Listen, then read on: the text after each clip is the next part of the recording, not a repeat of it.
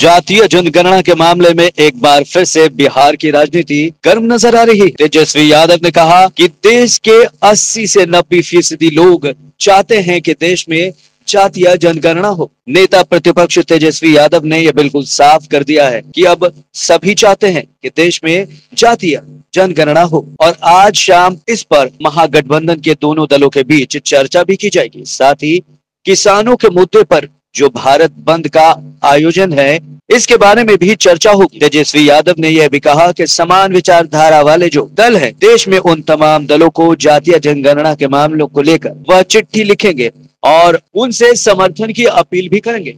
उन्होंने क्या कुछ कहा, आइए देखते हैं इस वीडियो रिपोर्ट वही होगा, उनका कॉन्शियस डिसीज़न होगा। लेकिन देश का जो सेंटिमेंट जो 80-90 फ़ीसदी लोग जो चाहते हैं कि गिनती हो उनके कॉन्शियस का क्या?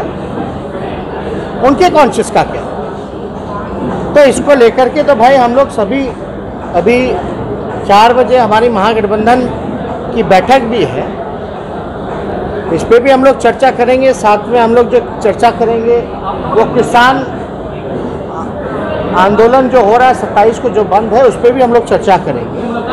और हम जो है, पत्र जो है अपने जितने भी सहयोगी दल हैं या लाइट माइंडेड पार्टीज़ हैं देश भर में हम पत्र भी सभी लोगों को लिखने का काम करेंगे कास्ट सेंसिस को लेकर। इस मुद्दे को लेकर तो